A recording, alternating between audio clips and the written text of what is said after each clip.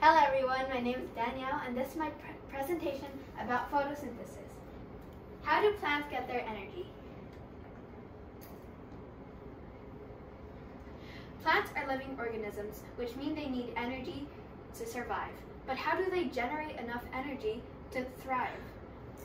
There are mu multiple components which produce energy in a process called photosynthesis.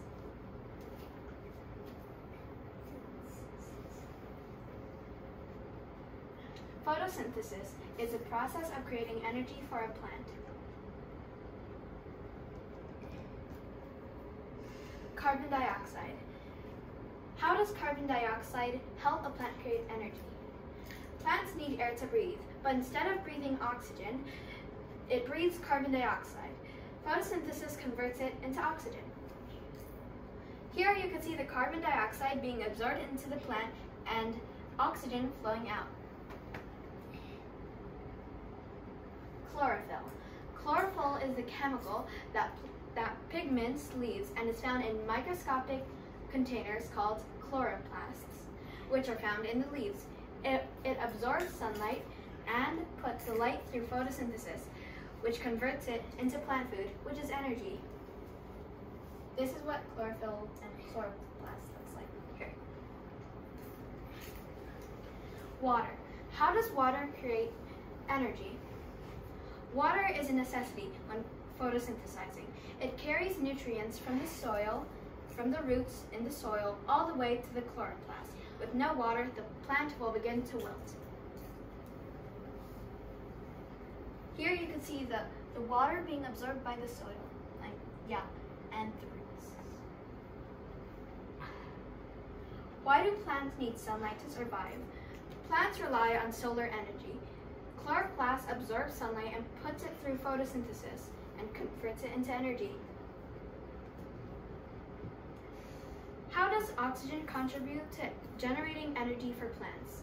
Even though plants breathe carbon dioxide, at night there is no sunlight, and since plants get their energy from the sun, the plant depends on oxygen for its new source of energy. Glucose. What does glucose have to do with plants? Photosynthesis creates glucose, which is where plants get energy. Basically, glucose is plant food. It is created when water, sunlight, and carbon dioxide is mixed. Here are facts about plants. Plants are producers, which mean they don't depend on other organisms to generate en energy. The majority of plants are found in the ocean, and there are over three, 300 320,000 species of plants. Conclusion. What happens during the process of photosynthesis? During photosynthesis, many components come together to generate energy and sustain the plant. What is your feedback? Wonderful. I'm very impressed, Danielle, with your presentation and with your the information, the quality of delivery, and the, the richness of your information that you have presented. But I have one question for you. Yeah. So when you say the sunlight is is necessary for the for the plants to survive and thrive, how about those plants that are inside a house? How can they survive if there's no sunlight inside a house? Usually um, Jacob, in his class, he did an experiment, and he left his plant in the dark. After a couple of days, the plant started growing, but immediately after, it started to die and wilt. Wonderful.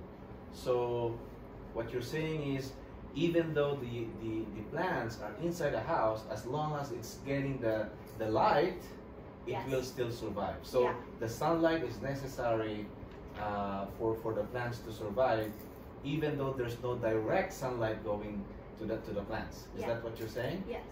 Very good, excellent. Thank you so much, Danielle. It's it's a very pleasant to hear your presentation. Good job and job well done. Thank you.